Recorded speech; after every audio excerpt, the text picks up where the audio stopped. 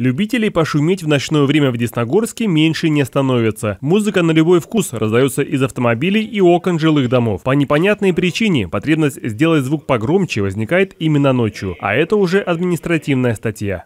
Нарушение тишины и спокойствия граждан в ночное время, а именно во время с 22 часов до 6 часов утра в местах постоянного проживания или временного пребывания граждан влечет наложение административного штрафа в наградном размере от 1 до 3 тысяч, на должностных лиц от 3 до 10, на юридических от 5 до 15.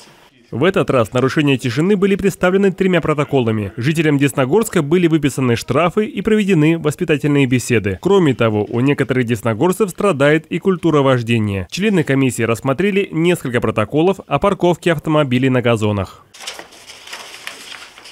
Ну, вот он на газоне стоит здесь, на траве.